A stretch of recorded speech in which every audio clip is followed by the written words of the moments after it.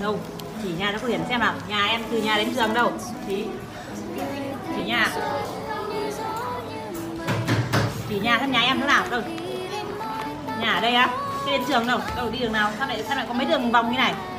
Nhà em xuống dốc lại sang đây. À nhà xuống Lại dốc xuống. U lại đi xuống nữa. Không nghèo nữa. Lại sang. Lại đi sang. À. Lại xuống dốc. Lại xuống dốc xong nghèo nữa. Xuống sang lại xuống. À, à diễn tả rất rất chân thực. Đi xuống ừ đi xuống này. Lại một con dốc tiếp từ dốc dài này á. À tiên dốc đấy không đến đâu, trường học của mình đâu, trường học đâu.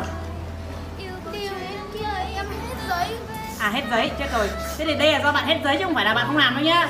Bạn đường từ nhà bạn, từ ở nhà đến trường là rất xa rất xa đây này, hết giấy bây giờ cô cho tiếp một mặt bên này bây giờ xuống vẽ tả chân thực từ nhà đến đến trường. Xem là dài bao bao nhiêu con dốc nhớ chưa? Nhớ chưa? Được rồi đi xuống xuống xuống vẽ này tí mang lên cô cô xem. Được rồi thôi con về chỗ.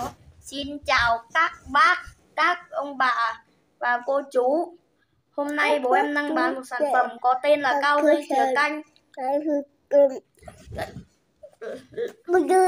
Cao dây thừa canh dùng cho những người bị tiểu đường tuyếp 1, tuyếp 2 và những người bị mỡ máu cao. Em mong các ông bà, các bác, các chú, các dì sẽ mua ủng hộ bố em